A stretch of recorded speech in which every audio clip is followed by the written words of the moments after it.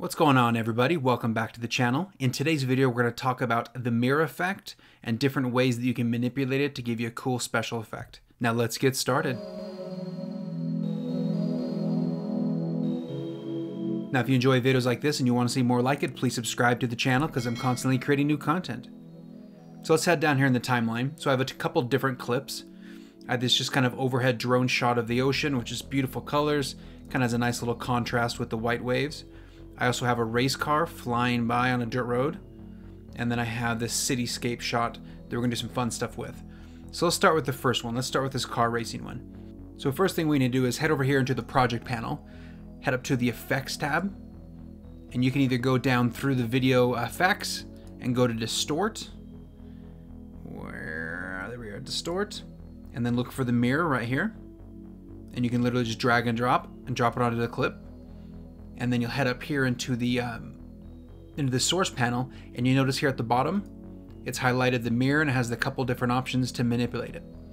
So you notice once I highlight this so the gray bar is active come over here on the right hand side this little blue cross it's an anchor point for the mirror of this video.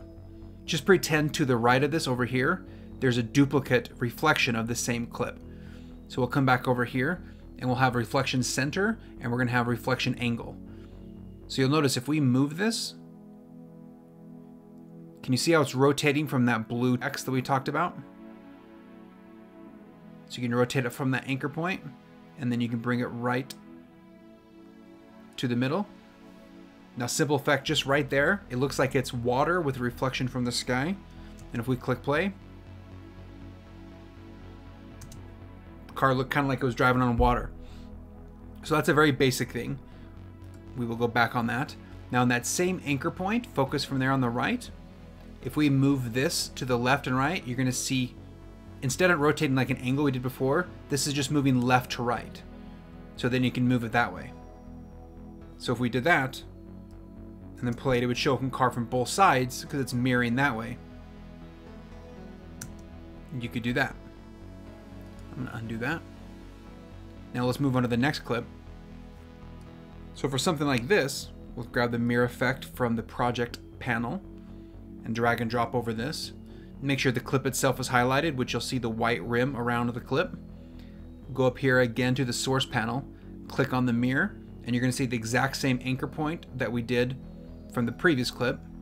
And on something like this, instead of going underneath like we did before, we can go above and then make it seem like it's a little river and there's sand on both sides. Which gives it a pretty pretty cool effect. Another thing you can do is you can add another mirror effect on top of the mirror effect. You don't want to do that too many times because then it distorts the photo. But let's move over to the last shot we have with the cityscape. And I'm going to do like a little inception where the city is coming from the sky in reverse. So do the exact same thing. We'll head down here to the mirror Grab the mirror effect, drag and drop it on this clip.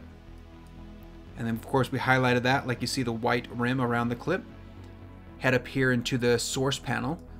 Click on the mirror once again and same thing, you're to see the anchor point there. So I'm want to drag that up and go reverse. Eh, too far. And put the city on the top. Now, it's too close together, but what you can do is come up here, because remember this was left to right. And then the next one over here is, is top to bottom.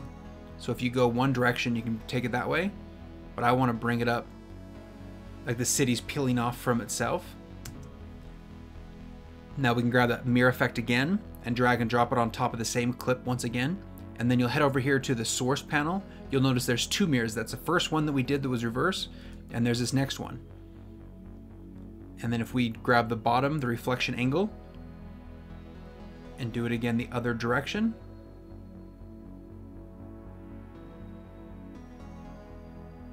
There we go. And then you can have like a little triple effect like that.